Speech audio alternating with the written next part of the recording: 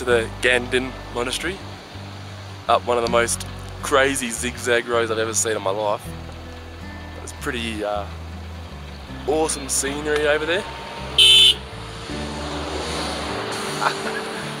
but um, just down the bottom of the hill, we had to go through a police check. It's everywhere through here.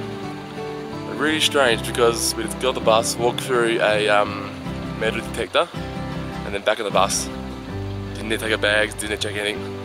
It's like the show of force, a show of power, so that they can control you anywhere you are in Tibet.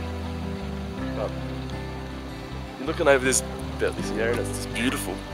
As you would have seen, just before we got leaving Lhasa, it's just building after building after building after building. Massive, massive construction taking over Tibet.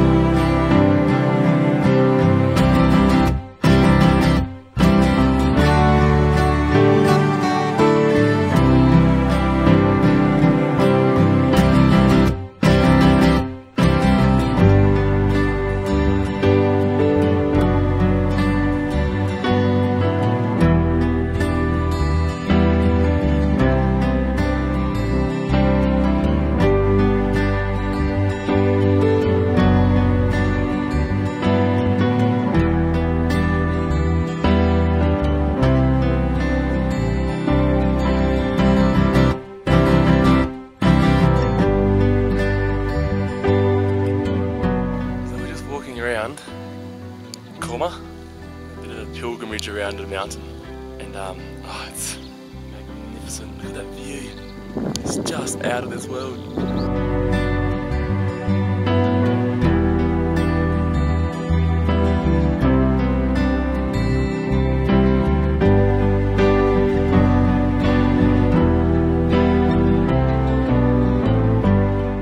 Deb, is this your donkey? This is my donkey. Her name is Daisy. Daisy the donkey. I've got Tashi. Tashi. Oh, Tashi. Yeah. Tashi. Tashi. Oh, come on. Come on.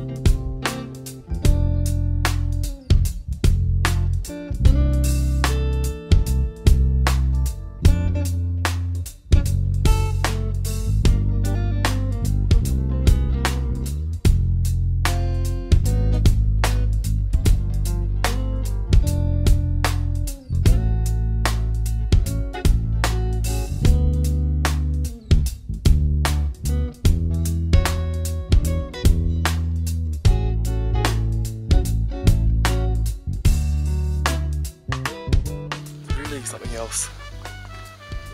Walking around here, this mountain, the Kora. I'm by myself. It's, it's great. I'm just having time to myself, time to think. And looking out over that amazing scenery, amazing landscape. You can you can see why they they chose this place for a monastery. Something very special about it. Which makes it hurt even more when we see what is happening to the peaceful Tibetans. But I can't say too much because there is actually cameras around. Seen a few of them just in the trees. it's full on. You can't, we can't, we can't just, we can't understand, start to understand what it's like for the Tibetans. They're controlling the monks, they're controlling the monasteries, they're controlling the road up here.